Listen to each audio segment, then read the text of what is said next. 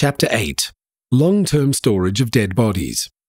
The long term storage of unidentified dead bodies, along with accurate record keeping and chain of custody procedures, can improve the chances of traceability in a way that upholds the dignity of the dead and respects the rights of the bereaved.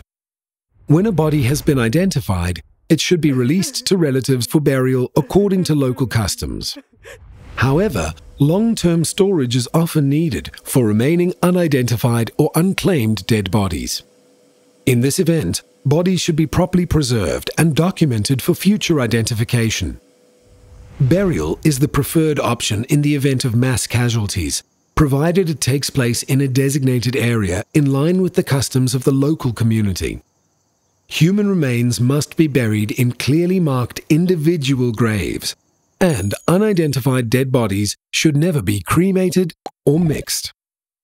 As a number one priority, traceability can be ensured by securely tagging each body and body bag or coffin with its unique body code on a waterproof label before burial.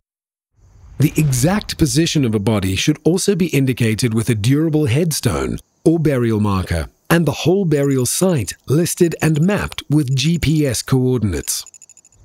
All the information on the overall burial site and the precise location of each grave must be recorded and stored to help future forensic investigations. And it's recommended that this data is copied and stored in at least two different places.